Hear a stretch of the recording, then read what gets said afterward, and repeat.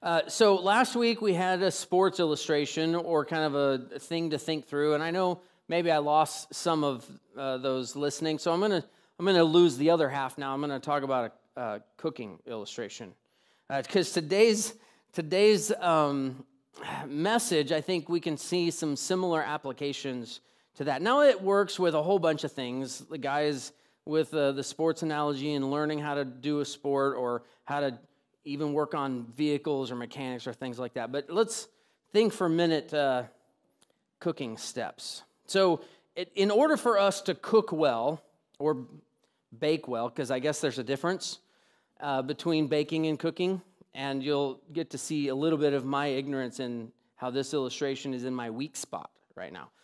But uh, in, in the element of cooking and preparing food, well, if you had to teach somebody how to cook, you might start off with this is the stove, this is the firebox, this is where things get hot. Uh, this is the pots and the pans that you put items in. These are the measuring items that you use to uh, create the creation that will uh, later tantalize your taste buds, right? So there's there's this uh, all these necessary components, and you would begin to point them out, and then you would teach them probably something pretty basic, uh, like this is how we uh, cook meat to this temperature, so we know it's thoroughly cooked, and and all that. Here's seasoning like salt and pepper. Uh, this is what it does, so that you have a good product. Maybe you're in the grocery store, maybe a little bit advanced. You pick up that melon, right? What do you do with that thing? I guess you're supposed to thump it, and if it has a, a specific sound, you know it's ripe and it's good, and you can go home you can cut it. And there's all sorts of tricks on YouTube on how to cut a melon really easily. Uh, so there's all these ideas and things, concepts that you would teach somebody as they're trying to cook. Things like never freeze lettuce. It just doesn't work out when you try to thaw out lettuce. It, it and uh, don't stick an egg a full egg in the microwave. Because, well, parents, I'll let you explain that to your kids. Uh, it, not, not good things happen. So you, you teach these things, but if you had to come back every time to this person and teach them the same things over and over and over and over and over again, and you started each cooking lesson with, okay, put it in the stove. And they said, What's the stove? Okay, well, let's get out the frying pans. Well, what are, what are those for? If you had to do that, you would probably literally go crazy. Because you, you would just, are you not getting it? Are you not learning anything? This is a complete waste of time. And, and maybe someone says, you know what, I don't need stoves and frying pans. I'm going to just eat it raw. And I wouldn't recommend that either. There's a number of things that, when we think through the elementary teachings that we've, most of us have come to learn over our lifetimes, we also build upon them. We don't just stay in the very first lesson. We continue to grow and build, and we learn that not just salt and pepper, but there's other seasonings and other, like if you're gonna smoke meat, there's other uh, hardwoods and other flavorings that you can add to things. So we take things and we do just crazy things with food. And it can be quite fun. Now, in life functions, think if you had, I just overheard somebody was potty training. Can you imagine having to do that every day of your life with someone? Okay, this is the potty chair. This is how you recognize. I mean, just we laugh and it's funny, but when we think about building upon and growing in our lives, there are so many tasks that, as parents especially, we expect our children to grow in proficiency in. And as employers, we expect our employees to grow in efficiency in. And well, the same is true for our spiritual lives. God expects us, and the mentors that have come before us expect us to grow in our understanding of the Word of God. They expect us to have tons of questions when we're first starting out and to soak in that understanding and to learn from the Word of God. But then there is this desire, this expectation that God has for us to go deeper, to understand not just the elementary teachings of faith, but to go deeper and deeper and deeper and to apply them, not just know them, but then to actually see them lived out in our lives. And so, as we dive in today, this is going to be one of those clear passages of scriptures that teaches us that point. And so, it'll be helpful for us to rem- remember where we've been before we dive in. And in the book of Hebrews, chapter 5 is where we left off. and last week, we were talking about how the writer was continually reminding them of their Jewish uh, backgrounds, to hold fast to their confessions, and to draw near to Christ. And he drew the parallels between Christ and, well, their image of a high priest and how Jesus Christ is our high priest now standing before the Lord our God. One thing I didn't mention last week that is so important that changes uh, the practice is under the old covenant, underneath the Old Testament law, you, a normal person, that would be all of us, by the way, a normal person could not approach a heavenly, holy God. They needed the priest to be the intermediary for them. They needed a proper priest to communicate on their behalf. And there's a number of faiths, even denominations, that carry over this idea into their understanding of spirituality. But when Christ, as our high priest, uh, he is the, he, we no longer need a man on earth to approach the God of heaven. Uh, the access has been made available to us all. And when Jesus died on the cross, the curtain of the temple was torn in two. It's a very important theological understanding here. The curtain is torn in two, and that which had been previously reserved for only a secluded few became open to all. And it's extremely important. If you want to go before your God in heaven and lift up your, your requests, you want to uh, make points of repentance, you just simply call out to the Lord. You don't need another man here on earth to be that intermediary between you and the Lord. Because Jesus is our high priest. Now, uh, that was uh, in chapter 5. Now, in verse 11, because we didn't finish all of chapter 5, but in verse 11, he'll say, About this, we have much to say, and it is hard to explain since you have become dull of hearing. Ouch. but uh, sometimes truthfulness isn't always well received or doesn't always seem like it's being the best thing that we'd want to hear. But this is what he said. We have much to say about this, about some of the, the priesthood and, and how Christ is our uh, high priest in the order of Melchizedek. And but he says we can't we can't go that deep because well you've become dull of hearing. And he continues in verse 12 and he says, For though by this time you ought to be teachers, you need someone to teach you again the basic principles of the oracles of God. So they've had enough time, I believe, at this writing to experience growth.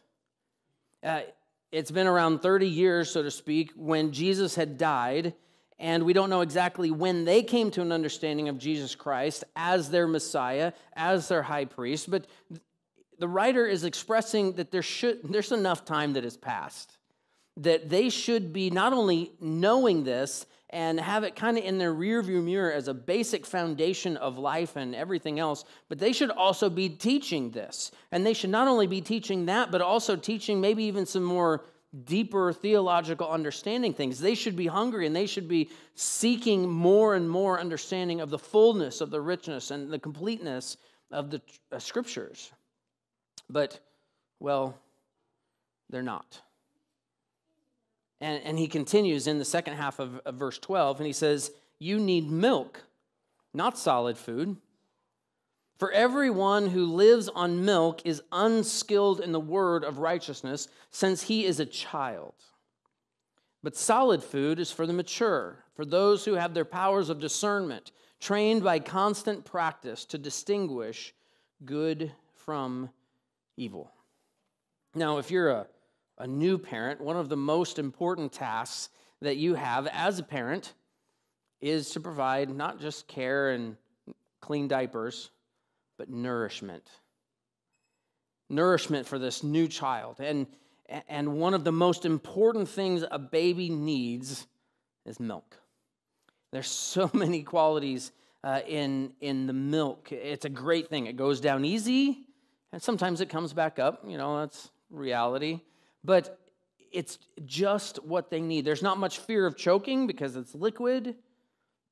we don't start off, um, contrary to some of the trends I've seen online, we don't start off feeding a baby solid food.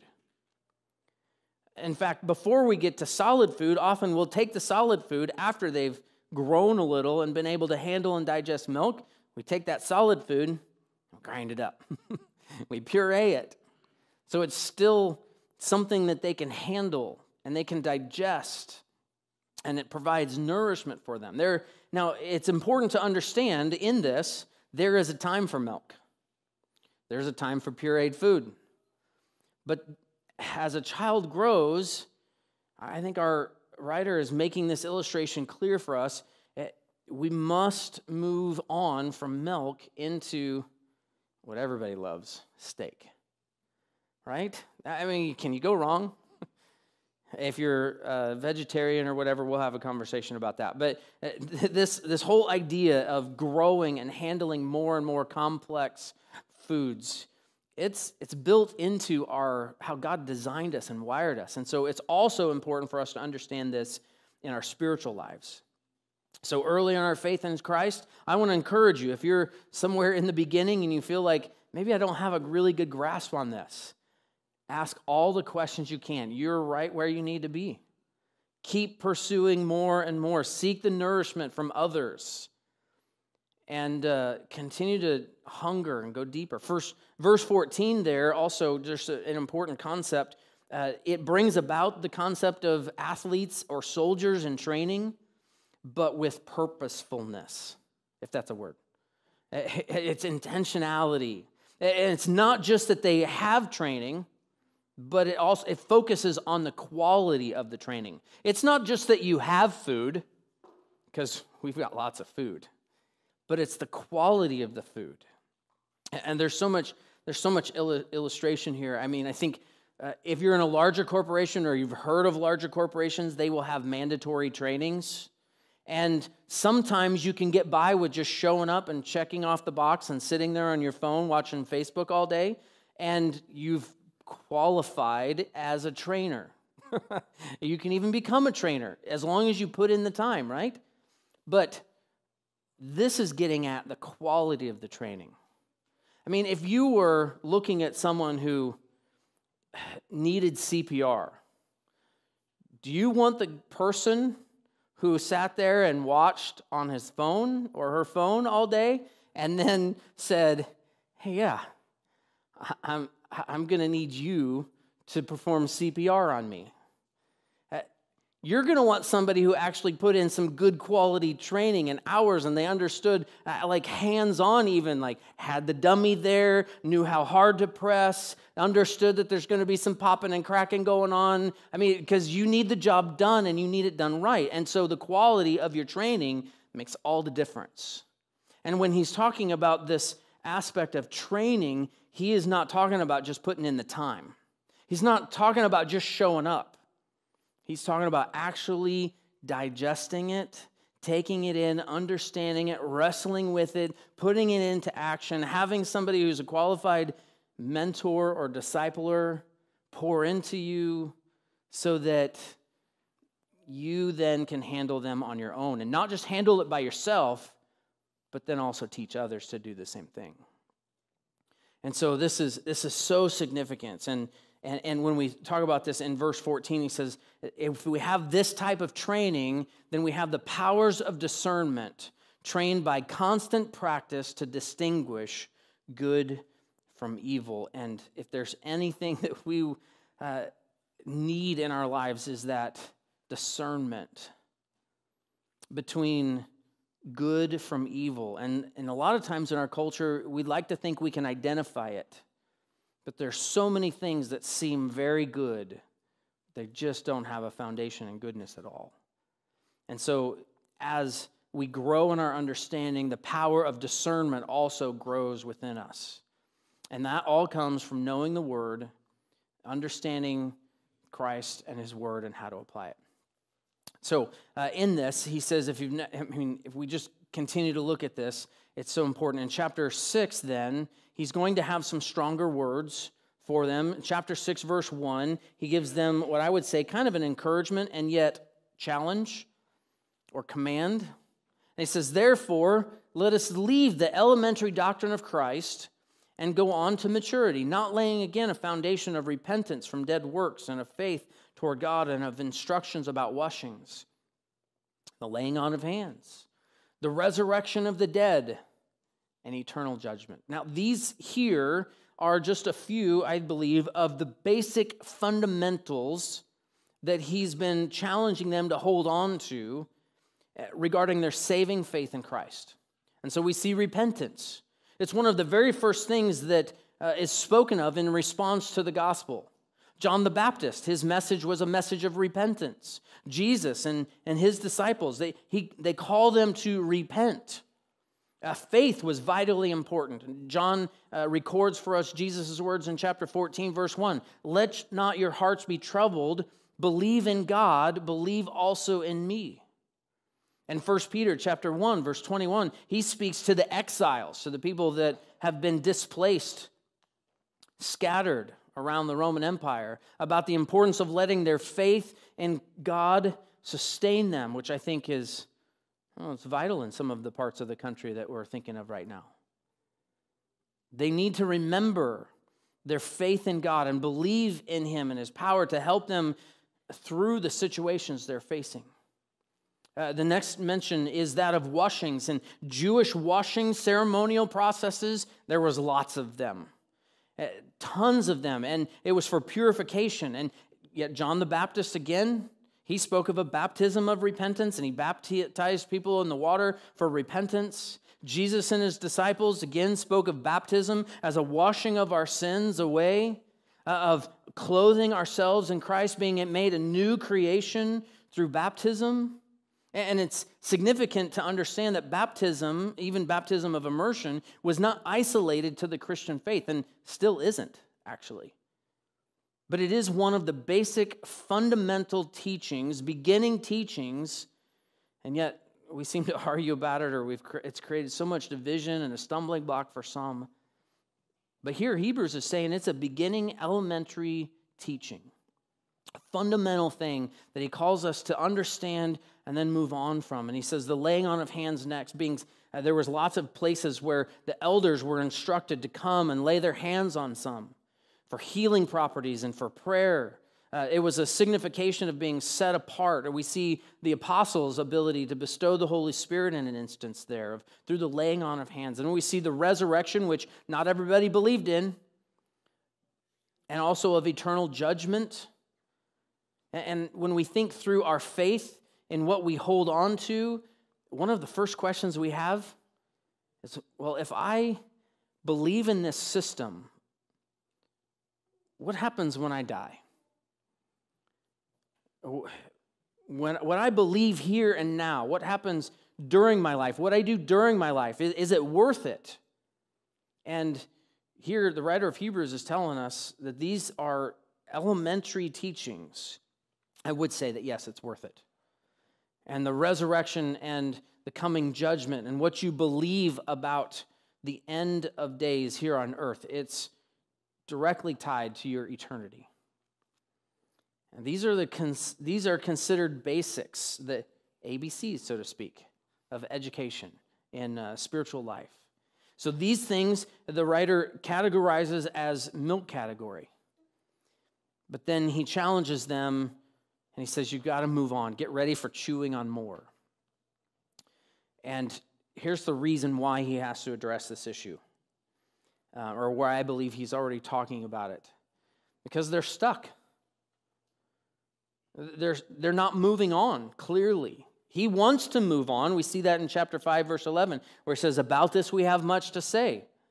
But, well, it's hard to explain since you've become dull of hearing. And, and, and I want to I wanna address that word really quickly, if I can, dull. That just seems like a put down. How many of you feel like that's just mean? You're dull. Nobody wants to be called dull. Well, this might help. It might not. But what, he, what he's really saying there, that, that word is that uh, nathoros, which means sluggish or slothful. Now, what creature comes to mind when you think of slothfulness? A sloth. And I didn't get a picture for you just to go, aw. Uh, but a sloth doesn't normally carry a lot of characteristics that we admire in human life, except for it looks like they know how to rest. and maybe that's the, the best reminder that we need sometimes in, in our 21st century American culture, anyways. Is we need to take time to enjoy and rest. But this idea is that of actually laziness, sluggishness. That he's actually telling them, look, you have the capacity to grow. You have the capacity to know this. You have already built this elementary foundation, and instead, you're being lazy. You're being complacent. Uh, the NIV states it this way We have much to say about this, but it's hard to make it clear because you no longer try to understand. And he's not saying that you don't have the capacity, he's not saying that you're stupid by any means. He is saying, he's just pointing out this reality that man, you can go deeper. You have the capacity within you, but it doesn't, it doesn't look like you're trying very hard. And as parents, if you've ever seen that, you've watched kids, you're like, man, just try a little harder. I think you'll get it. Or as an employer, you look at employees and you're like, I think you can do better. I believe it. You're not trying to put them down, you're trying to spur them on. I think this is what a part of what uh, the writer of Hebrews is trying to, to do for us. So he's addressing this issue of complacency. Now, so far, he has been address- addressing the issue of disbelief. He's been really challenging them to come back to the basics of their understanding and why they believe what they believe.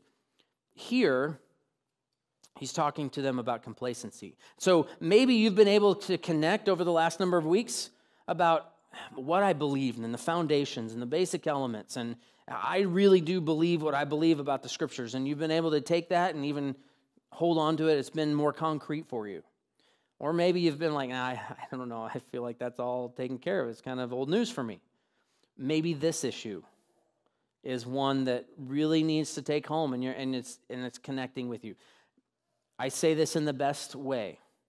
You and I, it's easy for us to become dull, lazy, complacent and so uh, I think just maybe sit there for a little bit and do some evaluation with the Lord. Uh, maybe this is what we need to hear. When we think through it, where have we gotten comfortable? How much effort are we putting into our own growth? How much are we depending or expecting others to do for us? When we think of our faith and when we look at others as disciples of Jesus, do we see a sloth? Or do we see somebody who's hitting it, getting after it? And when we think about our times of, of worship or connect or, or our Bible studies, are we, are we putting in the effort that needs to be put into it? Or are we hoping to just show up and be fed? Uh, when I think through the applications of this truth the, part, the purpose of gathering is, is not just to show up and put in our time. The purpose of gathering is not just to hope to feel better about ourselves as we leave this place. Uh, it, this time is not just supposed to naturally, because we've through this process of osmosis with this building or with me or, or with others, it, it's not going to fix everything. We've, we've got to show up and put into it. Uh, we've had some, or I've had some conversations, we've talked about it a little bit as leadership about this idea of being salty. I mean, what does salt do? It adds flavor, it adds richness. I'm going to go back to the cooking illustration. And if we show up hoping to just be the meat that gets seasoned, I think we're kind of missing the point of the gathering of the body of Christ. Our, our purpose is to add flavor, to add richness, to add depth to each and every one of us. So that when we leave this place, There's an aroma of Christ that's present. You know how it is. You drive downtown and about supper time, it smells good down there.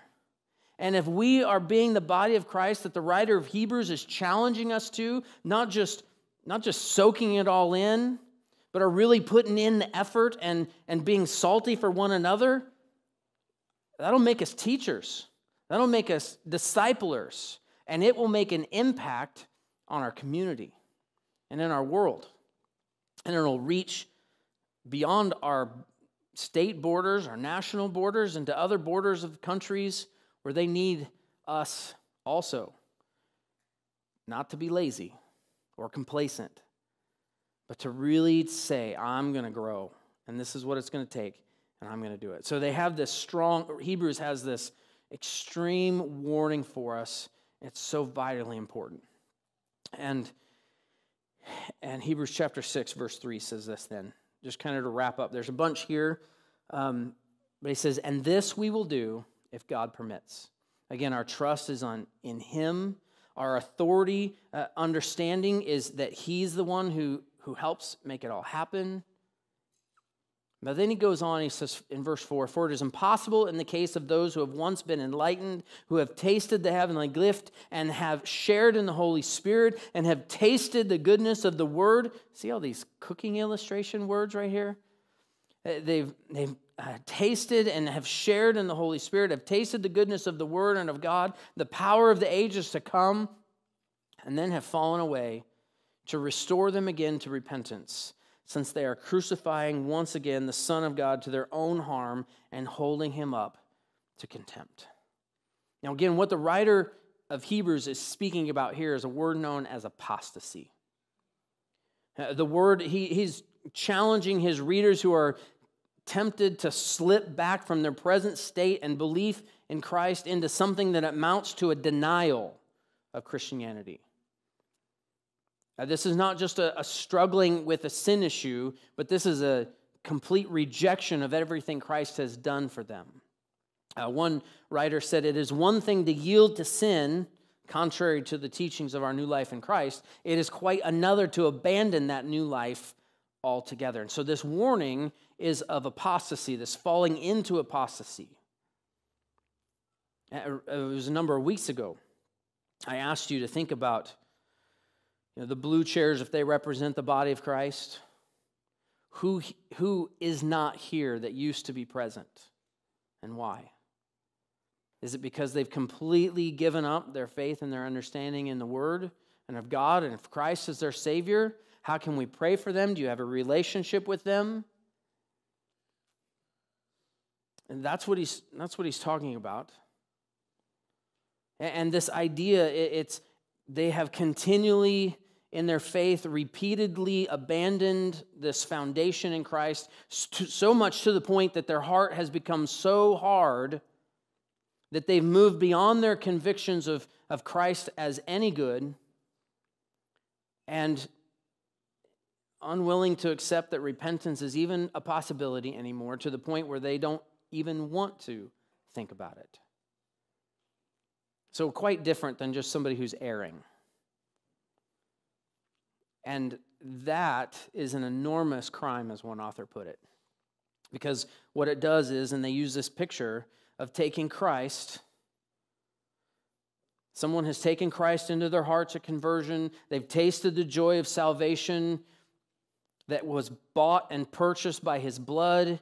They've shared in the Spirit of Christ and the Spirit and the fellowship of the body of Christ. And then they have torn it completely out of their hearts.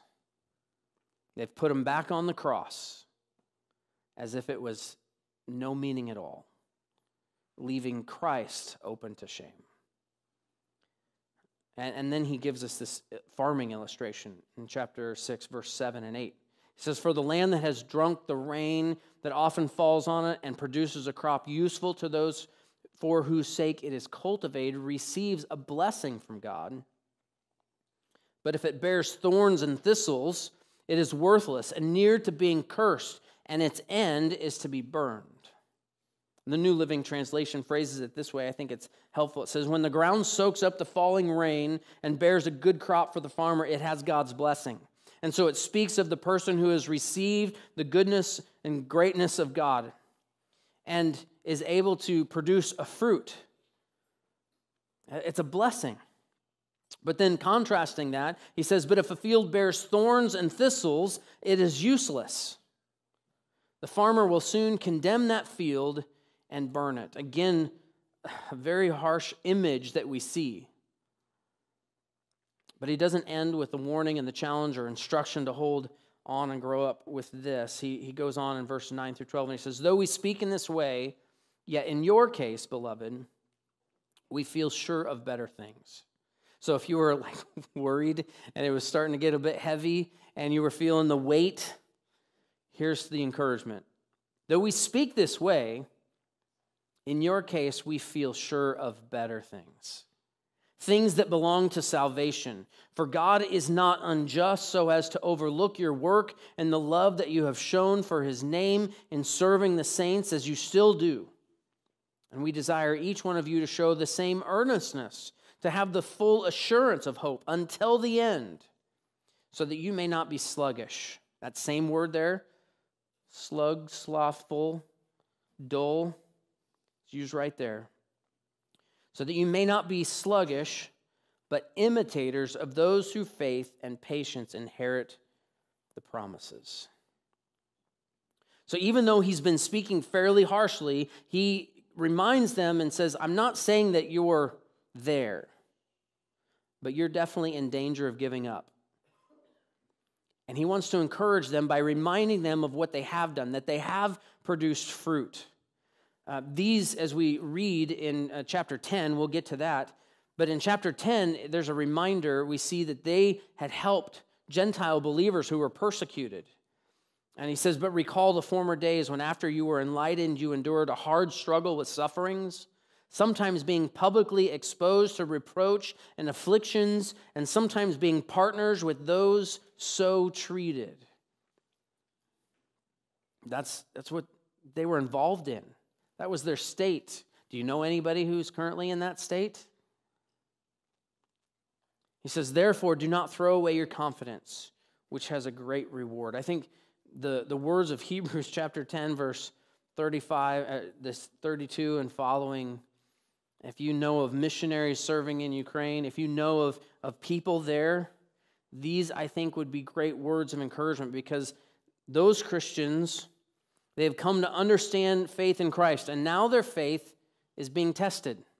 They're facing persecution, they're facing sufferings, not just privately, but publicly.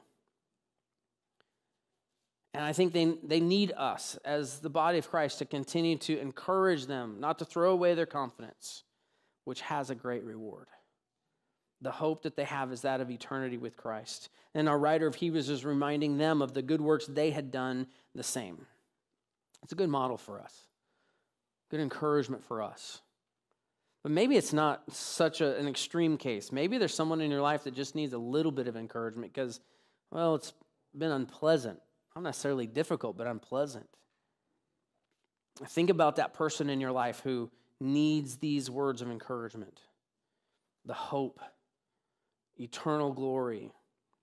Um, it, it's so important. So, uh, there's a lot here, again, that we couldn't really dive into fully. I encourage you this week, just like the writer of Hebrews challenges us, take responsibility, go deeper, hunger and thirst for it, search it out, go uh, deeper than what we've gone here now, so that we can imitate those in our past who have modeled it well, who are not sluggish or lazy. Because when the world looks at us, do they see people who are getting after it and strong in our faith? Or they see people who just like to show up, like to be fed, kind of like the show, kind of like the feel good moment you get when you leave a place like this? Or do they see people when all of life is hard and difficult, still have faith, still have strength? still are encouraged. And, and I think the best way to do that is to place ourselves in proximity with those people, those those relationships, our red chairs in the room, and model for them what it looks like. But I think it's also important for us to remember the writer of Hebrews is writing to Christians, he's writing to the church. And so for us, it's sometimes hard for us to swallow being called dull or sluggish, but that might be right where we're at. For some of us, it might be hard for us to think and be told that, man, you're, you're teetering on the line of disbelief. It might be hard for us, but it's what we need to hear. It's what someone else needs to hear. Don't just stop there. Encourage them and challenge them. Remind them of their faith. Remind them of the works that I'm sure they've done. And uh, continue to place yourselves in proximity of people who need just this reminder that faith in Christ Jesus is so worth it because we have in store for us a hope and eternity with Christ and his glory. Uh, just continue to, to, to place yourselves and pray for those opportunities. I want to read just that last uh, few verses, 11 and 12, again as we close. I'm going to invite you to stand, and this will kind of be uh, part of our closing prayer. And I want us just to hear God speak this to us individually as if He was saying it. I desire each one of you to show the same earnestness, to have the full assurance of hope until the end, so that you may not be sluggish but imitators of those who through faith and patience inherit the promises. So, Father, uh, we come before you hearing these words. And if there's something that we're bristled by, I pray that you'd soften us. If there's uh, points and places in our heart that we've hardened, God, that you would do a work of softening Lord, forgive us where we take uh, the time that we have and the words before us, all the resources that we have with contempt and complacency. Forgive us, Lord, when we look at this gathering time as just something that happens and we're complacent about it. Help us to come prepared, ready to provide seasoning to this time of gathering. Help us to, in our times of study, whether it's in Connect or individual studies, group studies, help us to be ready and prepared to add seasoning to that. Because you call us all to be teachers. And so, Father, help us to get to that point. And where we need the milk, uh, and those around us that need that, Father, continue to provide that. Help us prepare to chew uh, the greater things that lead to a further foundation in you. Father, this week, uh, do a work that only you can do so that only you receive the glory. And we pray this in Jesus' name. Amen. Have a great week, church.